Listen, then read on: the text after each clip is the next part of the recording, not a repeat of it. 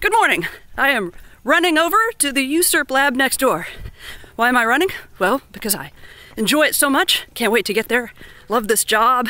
And because I'm being chased. Mommy. Mom. Mom. Mom. Mom. Mom. Mom. Lunch. Mom.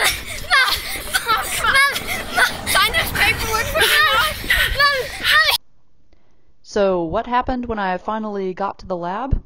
Well, we were able to obtain an example flow graph with some controversy between installations for DVB. Here is a DVB S2 transmitter flow graph in GNU Radio. After some troubleshooting to get it to work with the X310, we saw an output waveform using the built-in instruments in GNU Radio. Here's the list of blocks available in mainstream GNU Radio for DVB. Isn't this great?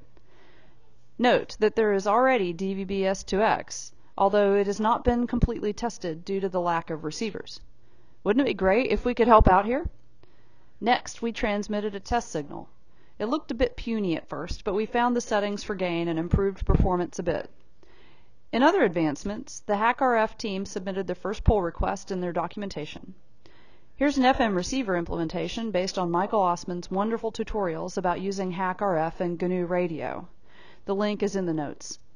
If you are anywhere in the ballpark about being interested in SDRs, then watch these videos. If it seems remotely interesting, then consider joining up our team and participating. It's a lot of fun and we need you. Here's the instrumentation of the FM broadcast band experiment.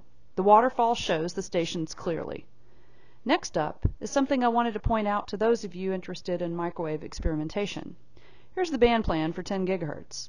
Note that our downlink is in the Space Earth and Telecommand subband. Note that right next door is an analog and digital band where bandwidths greater than 1 megahertz are welcome. That would be us, wearing our terrestrial hats. We're looking at making the radio autonomously determine what it's listening to and act accordingly. This is a band plan that works to our advantage since we believe we can use the same IF of 700 MHz for both modes. We use GitHub for all our documentation and software.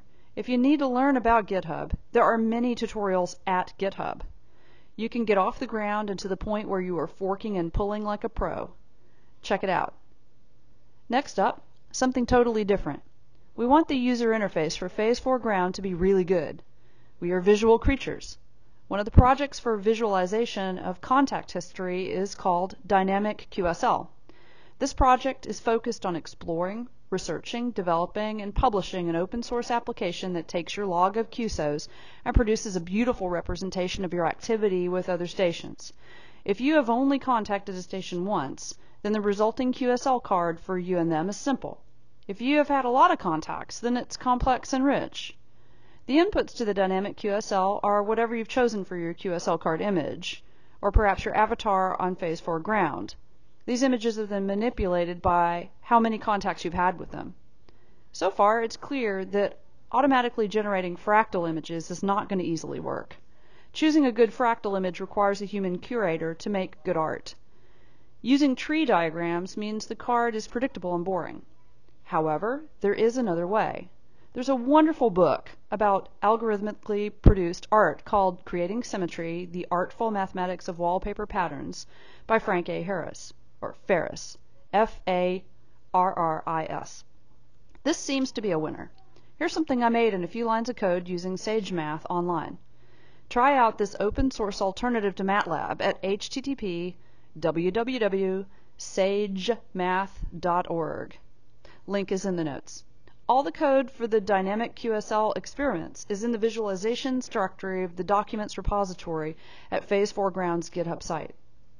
I'm hoping to work with Zach, with Zach Leffke at Virginia Tech to find students with an artistic and programming background to join this project and create a wonderful aspect to our user interface on Phase 4. There's nothing stopping this from being an entirely standalone project that anyone with a QSO log can use. The goal is to feed in a log and have beautiful dynamic cards, possibly animated to show contacts over time, produced so that the operator can display or send them. So, Zach, if you're listening, I will be writing you as soon as I can with a lot more details.